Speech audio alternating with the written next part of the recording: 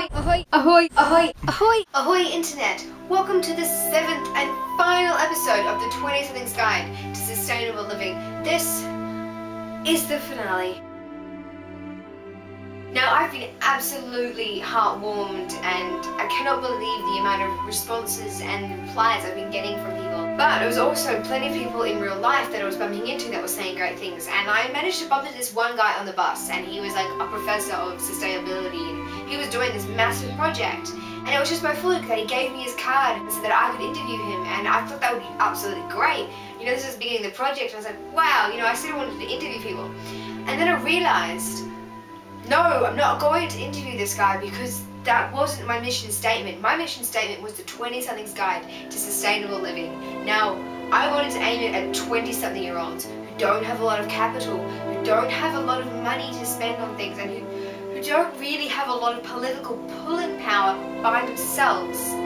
Now, that guy was going to talk about wind farms and solar panels and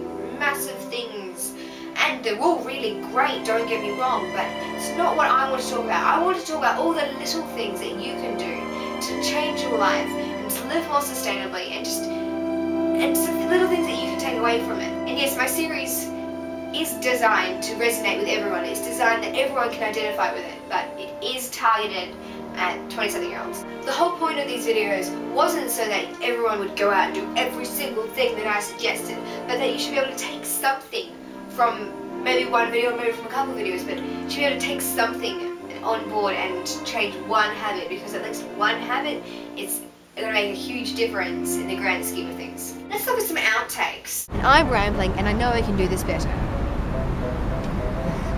I shouldn't lean in, eh? It's kind of... Not leaning in? There's a cloth in that motion because you needed to be showing. Ah. Word. Get some nice duct tape in there. What?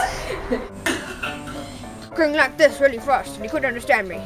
So if that wasn't all interesting to you, there's actually a hilarious extended cut, which will be on my personal channel. Oh, it's right there, what a shock. So we've reached the end of the video, and I don't even know how it happened, but that also means we've reached the end of the project. Has it been amazing for you too?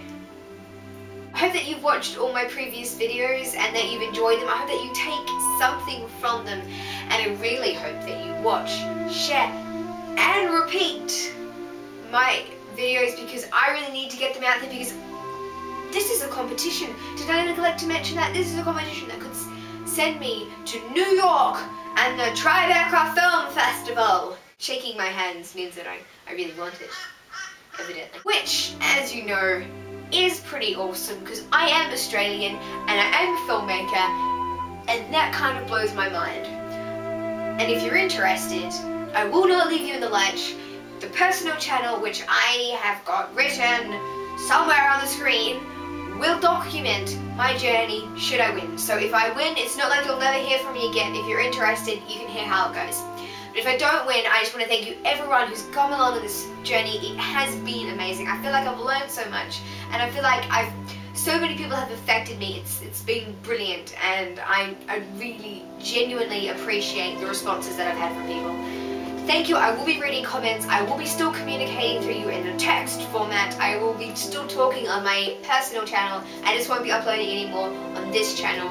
Thank you. Cheers, Internet. Bye.